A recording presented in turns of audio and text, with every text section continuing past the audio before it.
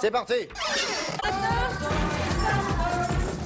Je vous laisse chanter parce que moi, je chante comme une casserole.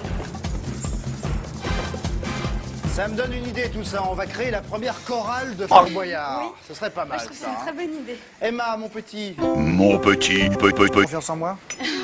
Oui ou pas? Oui? Alors tiens, autour d'Emma. Emma, je sais que tu es triple championne de France de fellation, hein, ce qui n'est pas rien. Alors là, avec cette épreuve, on va voir si tu es aussi à l'aise sur la neige que sur la pierre. Je te donne un conseil.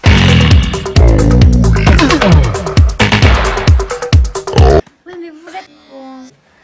Ne slalom pas trop, tu tout droit. D'accord Parfait. Attention, tu rentres.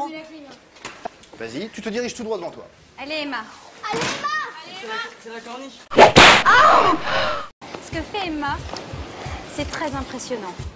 Et là, je dois admettre aujourd'hui que je suis avec vous, que c'est vraiment quelque chose qui personnellement me ferait très très peur. Et elle se débrouille très bien, elle va vite en plus.